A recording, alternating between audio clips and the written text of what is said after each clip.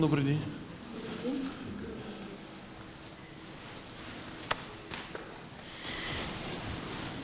А, Сегодня в этом году а, закончилась, э, заканчивается работа а, по э, работа здесь в городе Харькове и на, на месте катастрофы э, с телами.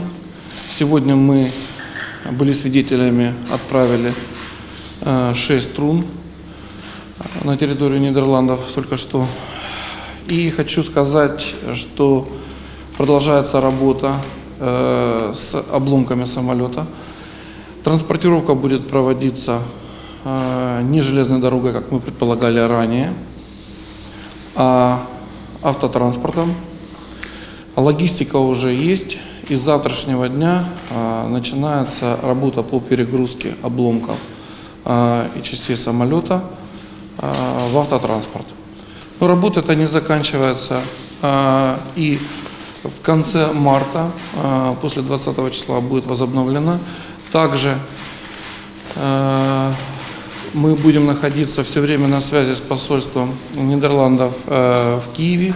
И в случае необходимости и нахождения на, э, на месте крушения новых частей самолета либо э, тел, работа сразу будет возобновлена на- с нашей помощью.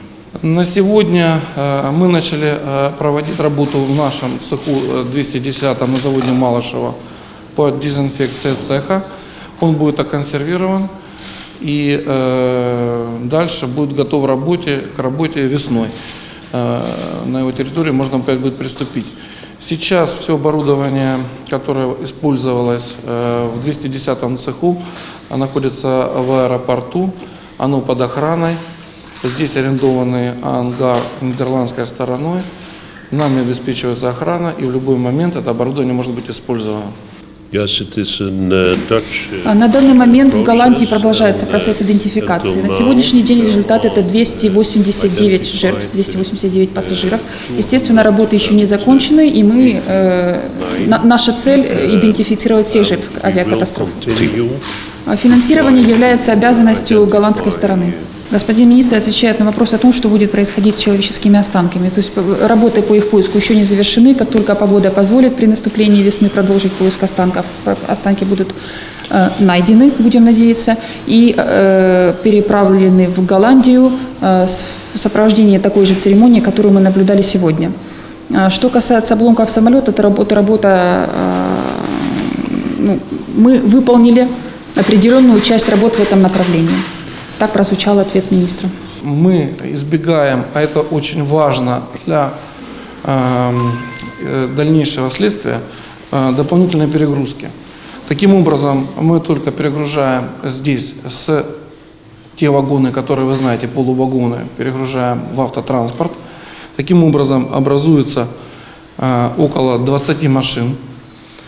И работа поэтому как раз вот и начинается завтрашнего дня. Э, И здесь происходит очень удобно. Мы производим здесь затамаживание, как это делалось обычно, и эту работу уже мы привыкли здесь, у нас отлаженный совершенно механизм. Это тоже немаловажный фактор. И далее э, разгрузка предусматривается только на специально подготовленном месте, уже непосредственно в Голландии.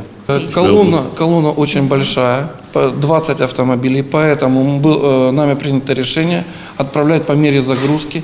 Это 4-5 грузовых машин в сопровождении охраны и госавтоинспекции.